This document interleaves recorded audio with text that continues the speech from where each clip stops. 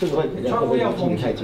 市面上侯友谊亲自前往饭店视察，每个部分都要看个仔细，是否符合防疫规定。因为这里被征用作为集中检疫中心，主要收治轻症患者。二十一号启用，可以提供一百八十三间房间，舒缓医疗压力。派驻医疗团队进驻，我们明天准备好，后天就可以收治，让重症者留在医疗体系里面，轻症的无症状确诊者就到我们的。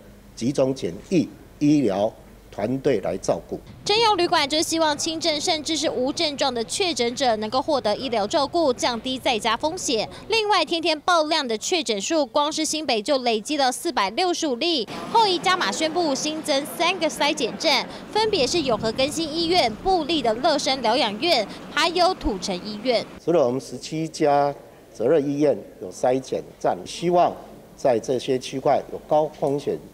的这个万华活动室的，以及身体自我监测，认为有一些疑虑的，都可以到这三个筛检站来做筛检。后已强调，新北每天筛检量有四千剂，加设三个筛检站，提高筛检量能，要揪出潜在的无症状患者，透过征用防疫旅馆进驻医疗人员照顾，要让无症状或是轻症患者得到妥适照顾，降低社区和同住者的感染风险。三宣潘庄马月文新北市报道。